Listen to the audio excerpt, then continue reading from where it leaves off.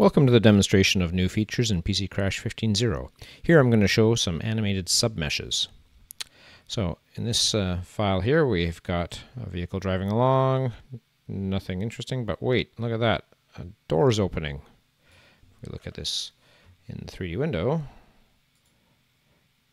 we see we've got an inset overhead view. Okay, what's happening there?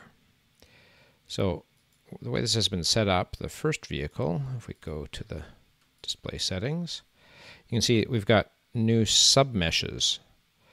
And we've got a submesh named door left front, and it has uh, the following setup. If we click the little ellipses here, you can see it's set up to open to an angle of 40, minus 45 degrees after a little wait, and then uh, it goes, holds it, and then goes back. And so that's why when we move along, it's doing nothing. It starts moving at that one and a half second mark. Two and a half seconds, it's fully open and then retracts it. So you can see if a mesh has a submesh, if you bring that mesh in as a drawing object, and you zoom in on it, you go to the draw menu, and there's a pick submesh option.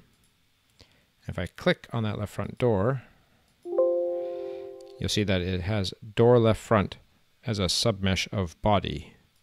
This particular mesh has been set up with other submeshes. There's door left rear.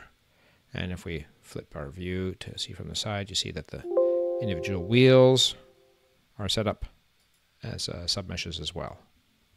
So anything with a submesh, you can set these uh, these uh, values for in the kind of like path uh, points for the submesh to follow. But you need a, a, mesh that's been set up, and you pretty much need to bring in the, the meshes into PC Crash and pick the submesh to see if it's been set up correctly. Uh, you can even uh, load in submeshes with multiple degrees of freedom and do multiple submeshes. So in that case, you would look at this uh, vehicle list here, and then you would do another mesh. You'd have to type in the mesh name matching what comes up there in order for it to work. So uh, I can show you that in another video.